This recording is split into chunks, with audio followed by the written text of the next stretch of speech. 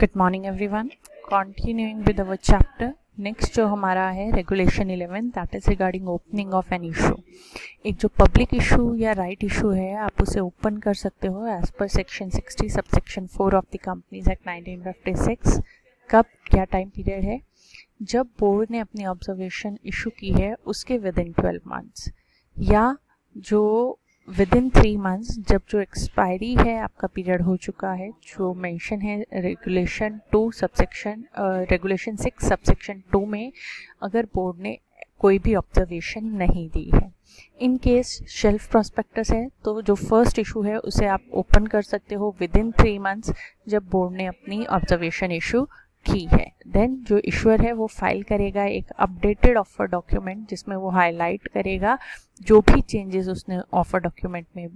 किए हैं। जो भी, जो बोर्ड है, उसने जो भी ऑब्जर्वेशन दी थी उनके बाद। और ये जो ऑफ़र डॉक्यूमेंट है, वो फ़ाइल होगा through lead merchant banker board को। और ये जो फ़ाइल है before registering the red herring prospectus और प्रोस्पेक्टस जब आप रजिस्टर कर रहे हो रजिस्ट्रार ऑफ़ कंपनी से, या फ़ाइल कर रहे हो letter of offer designated stock exchange को, उससे पहले आपने डिपॉजिट करवाना है सेबी को।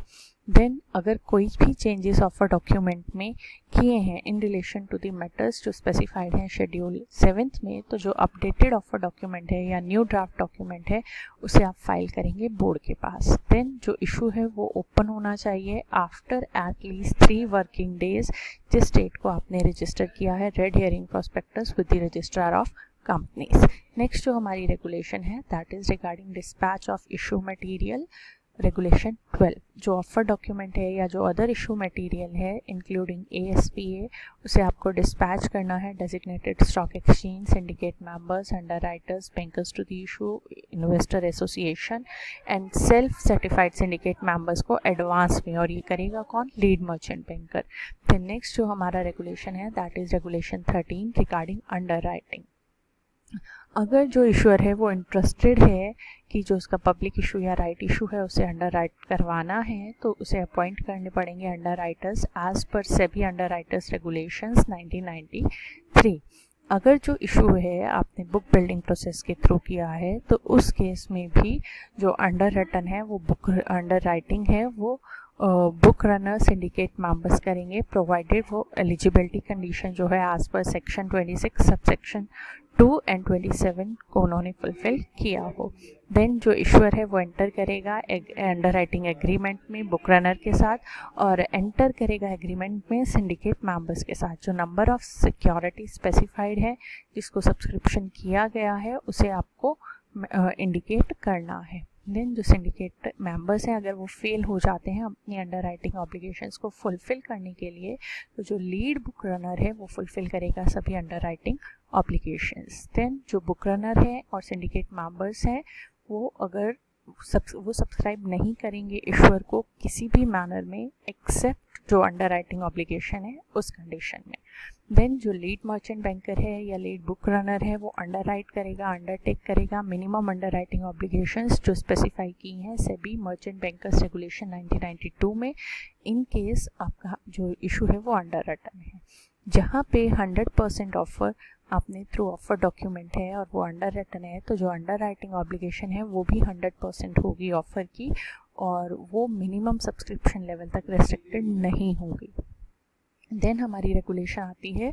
रिगार्डिंग मिनिमम सब्सक्रिप्शन रेगुलेशन 14 जो मिनिमम सब्सक्रिप्शन आपको रिसीव होनी चाहिए इशू में, वो 90 परसेंट से कम नहीं होनी चाहिए। आपकी ऑफ़र जितना आपने किया है थ्रू ऑफ़र डॉक्यूमेंट अगर आप निकाल रहे हो देन अगर आपको मिनिमम सब्सक्रिप्शन रिसीव नहीं होती है तो जो भी आपकी एप्लीकेशन मनी है, वो आपको रिफ़ंड करनी होगी एप्लीकेंट्स को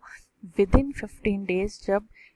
इशू क्लोज हुआ है, अगर नॉन अंडर रिटर्न इशू है सेवेंटी डेज़ अगर इशू के क्लोज होने पे अगर जो इशू है वो अंडर रिटर्न है, और जहाँ पे आपकी मिनिमम जो सब्सक्रिप्शन है इंक्लूडिंग डेवलपमेंट ऑब्लिगेशन जो अंडर राइटर्स ने पे की है, वो रिसीव नहीं हुई है within sixty days of the closure of the issue जो ऑफ़र डॉक्यूमेंट है, उसमें एडिक्वेट डिस्क्लोजर्स आपको देने पड़ेंगे रिगार्डिंग मिनिमम सब्सक्रिप्शन जो रिक्वायरमेंट्स है regarding allotment of minimum number of specified securities वो अप्लाई होंगी offer for sale of specified securities के ऊपर. देन जो हमारा नेक्स्ट रेगुलेशन है fifteen that is regarding over subscription कोई भी अलॉटमेंट इशूअर नहीं कर सकता in excess of the specified securities offer अपने ऑफ़र डॉक्यूमेंट में जो उसने ऑफ़र की है, उससे ज़्यादा आप अलॉट नहीं कर सकते हो। लेकिन इसमें एक और चीज़ है, जहाँ पे आपका allotment not more than ten percent आपका जो नेट ऑफ़र टू पब्लिक है, वो आप कर सकते हो। अगर जो पर्पस है, वो अलॉटमेंट को मिनिमम लॉट्स में अलॉट करने का है। Then next is your monitoring agency regulation 16 अगर आपका जो इशू साइज़ है, वो एक्सीड करता है 500 करोड़ रुपीस से तो जो भी प्रोसीड्स होंगे इशू के, उसे किस तरीके से यूज़ किया जा रहा है, उसे मॉनिटर करेगा एक पब्लिक फाइनेंशियल इंस्टीट्यूशन या कोई भी one of the scheduled commercial banks जिसे आपने ऑफ़र डॉक्यूमेंट में नेम किया है। देन जो मॉनिटरिंग एजेंसी है, वो सबमिट करेगी अपनी रिपोर्ट ईश्वर को हाफ़ ईयरली बेसिस पे टिल जब तक आपके सारे प्रोसीड्स को फुली यूटिलाइज नहीं कर लिया जाता। देन नेक्स्ट जो हमारा रेगुलेशन है that is regulation 17 regarding manner of calls अगर जो आपका सब्सक्रिप्शन अमाउंट है, आपने कॉल्स में मंगवाया है तो जो होल अमाउंट है, वो रिसीव हो जानी चाहिए विद इन ट्वेल्व मंथ्स जिस स्टेट को आपने अलॉटमेंट ऑफ़ इशू किया है, उस डेट से। अगर एप्लीकेंट फेल हो जाता है अमाउंट पे करने में विद इन ट्वेल्व मंथ्स उन शेयर्स के ऊपर तो जिनके ऊपर कॉल इन एरियर है तो उसे फॉरफिट कर लिया जाएगा। अगर जो इशूअर है, आपने अपॉइंट की इशूअर ने अपॉइंट किया है मॉनिटरिंग एजेंसी तो जो कंडीशन है calling outstanding subscription money within twelve months वो अप्लाई नहीं होगी। देन नेक्स्ट हमारी रेगुलेशन है regulation 18 regarding allotment refund and payment of interest ये इंश्योर करना है इंश्योर को मर्चेंट बैंकर को कि जो भी स्पेसिफाइड सिक्योरिटीज़ अलॉटेड है या जो भी एप्लीकेशन बनी है वो रिफ़ंड होनी चाहिए जब इशू क्लोज हुआ है उसके विद इन फिफ्टीन डेज़ अगर जो अबव रेगुलेशन है वो फॉलो नहीं होती है तो जो इश्यूर है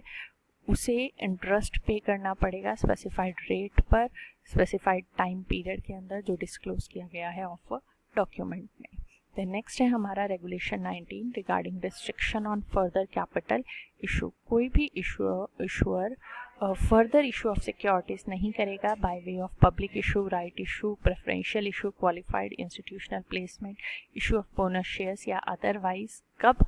ड्यूरिंग द पीरियड किस पीरियड के बीच में जब आप डेट जो है आपकी registering the red herring prospectus prospectus जब आप रजिस्टर कर रहे हो रजिस्ट्रार ऑफ़ कंपनीज़ के पास या फ़ाइल कर रहे हो letter of offer with designated stock exchange और जो लिस्टिंग ऑफ़ सिक्योरिटीज़ और रिफंड ऑफ़ एप्लीकेशन मनी है in case of fast track issue इन दो टाइम पीरियड्स के बीच में रजिस्टर करने के टाइम पे और लिस्टिंग ऑफ़ सिक्योरिटीज़ के ड्यूरिंग आप कोई भी इशू नहीं निकाल सकते हो। देन ड्यूरिंग द पीरियड जो है आपका between the date of filing the draft of a document with the board या and listing of the specified securities refund of application money in case of other issuer but ये जो है conditions वो applicable नहीं होगी। In case आपने full disclosure किया है regarding the total number of specified securities और जो आप अमाउंट प्रपोज कर रहे हैं to be raised from such further issues जो आपने ऑफ़र डॉक्यूमेंट में किया है। नेक्स्ट जो हमारी कंडीशन है that is regarding additional requirements for issue of convertible dept instruments regulation twenty एक इशूअर जो पब्लिक इशू कर रहा है या राइट इशू निकाल रहा है कन्वर्टेबल डेप्ट इंस्ट्रूमेंट का उसे फॉलोइंग कंडीशंस फुलफिल करनी पड़ेंगी। वो क्या? उसे क्रेडिट रेटिंग लेनी पड़ेगी। फ्रॉम वन और मोर क्रेडिट रेटिंग एजेंसीज उसे अपॉइंट करना पड़ेगा। वन या more debenture trustee as per section 71 sub section 5 of the companies act 2013 and SEBI debenture trustee regulation 1993 और उसे एक डिवेंचर रिडम्पशन रिज़र्व क्रिएट करना है as per section 71 sub section four of the companies act 2013 अगर जो ईश्वर है, वो propose करता है क्रिएट करने के लिए कि उसे क्रिएट करना है चार्ज या सिक्योरिटी जो उसकी एसिड है, उसके ऊपर उसे चार्ज क्रिएट करना है in respect of secured convertible dept instrument तो उसे ये इंश्योर करना है कि जो उसकी एसिड्स है, वो सफिशेंट है प्रिंसिपल अमाउंट को डिस्चार्ज करने के लिए एट ऑल टाइम्स और वो जो एसिड्स है, वो फ्री फ्रॉम एनी इनकम्बरेंस है, जो कंसेंट है फाइनेंशियल इंस्टीट्यूशन बैंक या लेसर फॉर अ सेकेंड और परिपासु चार्ज वो उसने ऑप्टेन किया हो जिस, जिससे को उसने सिक्योरिटी ऑलरेडी प्लेज की है, उससे जो सिक्योरिटी है या एसिड कवर है, वो अराइव होना चाहिए after deduction of the liabilities जो फ़र्स्ट और प्रियोरियर चार्ज की हैं। देन जो इश्यूअर है वो रिडीम करेगा convertible dept instruments in terms of offer document then next जो हमारा कंडीशन आता है regulation 21 that is roll over of non convertible portion of partly convertible dept instruments जो नॉन कन्वर्टेबल पोर्शन है पार्टली कन्वर्टेबल डेप्ट instruments का जो issue किया है इसी लिस्टेड इशूअर ने और जो उसकी वैल्यू है एक्सीड अगर कर रही है 50 लाख रुपीज़ से तो उसे रोल ओवर कर सकता है। मतलब आगे उसे बढ़ा सकता है without change in the interest rate subject to कि उसने जो प्रोविजंस है सेक्शन 71 ऑफ़ कंपनीज़ एक्ट 2013 के उसे फॉलो किया गया हो और फॉलोइंग कंडीशंस वो क्या कि 75 परसेंट ऑफ़ दी जो आपके होल्डर्स है कन्वर्टेबल डेप्ट इंस्ट्रूमेंट्स के, उन्होंने अप्रूव किया हो रोल ओवर को through a resolution by postal ballot second जो इश्यूअर है, वो सेंड करेगा एक नोटिस ऑफ़ रेजोल्यूशन सभी होल्डर्स ऑफ़ कन्वर्टेबल डेप्ट इंस्ट्रूमेंट्स को along with auditor certificate with comments जो cash flow of the issuer है उसके ऊपर. जो इश्यूअर है, वो अंडरटेक करेगा रेडीम करना non convertible portion partly convertible डेप्ट इंस्ट्रूमेंट का, उन सभी होल्डर्स को जो एग्री नहीं कर रहे हैं रेजोल्यूशन पे. देन जो आपकी क्रेडिट रेटिंग है, वो ऑप्टेन होनी चाहिए at least one credit rating agency से जो रजिस्टर्ड है with SEBI within a period of six months prior to the due date of redemption और ये जो रेटिंग है वो कम्युनिकेट आपने होल्डर्स को करनी है before the roll over then जो क्रिएट है, आपने करना है, अगर क्रिएशन आप कर रहे हो फ्रेश सिक्योरिटी और एग्जीक्यूशन कर रहे हो फ्रेश ट्रस्ट डीड का वो मैंडेटरी नहीं है। अगर आपकी जो एग्जिस्टिंग ट्रस्ट डीड है वो प्रोवाइड करती है कि आप कॉन्टीन्यूएंस ऑफ़ सिक्योरिटी कर सकते हो even in roll over then next जो हमारा रेगुलेशन uh, है that is regulation 22 that is regarding conversion of optionally convertible dept instruments into equity share capital एक जो ईश्वर है वो कन्वर्ट नहीं कर सकता है ऑप्शनली कन्वर्टेबल डेप्ट इंस्ट्रूमेंट को इक्विटी शेयर में अनलेस और अनटिल जो होल्डर्स हैं उस कन्वर्टेबल डेप्ट इंस्ट्रूमेंट्स के उन्होंने अपनी पॉजिटिव कंसेंट ना दी हो। देन जो होल्डर्स है कन्वर्टेबल डेप्ट इंस्ट्रूमेंट्स के उन्हें ऑप्शन दिया जाएगा कि वो कन्वर्ट करना है उन्होंने या नहीं करना है इक्विटी पोर्शन को जहाँ पे आपका जो इशू साइज़ है वो एक्सीड करता है 50 लाख रुपीज़ से। और इशूअर ने डिटरमाइन अगर नहीं किया है कन्वर्शन प्राइस उस इंस्ट्रूमेंट का लेकिन जो अपर लिमिट है प्राइस की उस इंस्ट्रूमेंट की उसके लिए जस्टिफिकेशन आपको वहाँ डिटरमाइन करना है और डिस्क्लोज करना है इन्वेस्टर्स को at the time of issue तो उस आ, किया है आपने तो उस टाइम पे ये ऑप्शन फोल्डर्स को देना कंपलसरी नहीं है। जो होल्डर्स हैं कन्वर्टेबल डेप्ट इंस्ट्रूमेंट्स के, जिन्हें ऑप्शन दिया गया है कन्वर्शन का एज अब जो हमने पढ़ा और वन और मोर सच होल्डर्स जो एक्सरसाइज नहीं करते हैं ऑप्शन को तो जो इश्यूअर है वो रिडीम करेगा उन इंस्ट्रूमेंट्स को विद इन वन मंथ जो आपकी last date of exercising option है, उससे with in one month at a price जो लेस देन नहीं होना चाहिए आपकी फेस वैल्यू से। जो प्रोविज़न है सब रेगुलेशन थ्री की, वो अप्लाई नहीं होंगे। अगर जो रिडम्पशंस हैं, वो आप रिडम्पशंस के जो डिस्क्लोजर्स हैं, आपने ऑफ़र डॉक्यूमेंट में जो किए थे, उसके अकॉर्डिंग आप कर रहे हैं।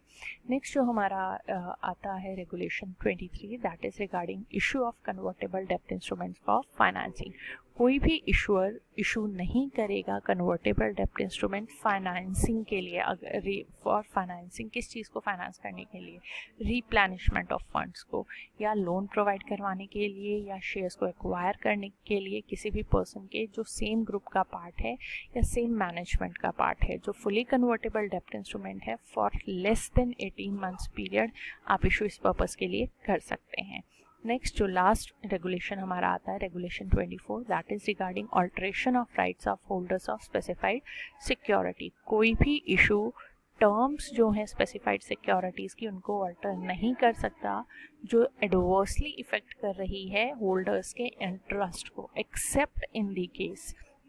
किस केस में वो ऑल्टर कर सकता है? अगर राइटिंग राइटिंग में उसे कंसेंट ली है उसने होल्डर्स की, वो भी थ्री फोर्थ होल्डर्स की, उस क्लास के